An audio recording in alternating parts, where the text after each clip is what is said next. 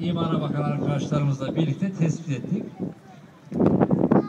Belediyemizin başlattığı projede bu 20 okulumuzun bahçesine burada örneğini gördünüz.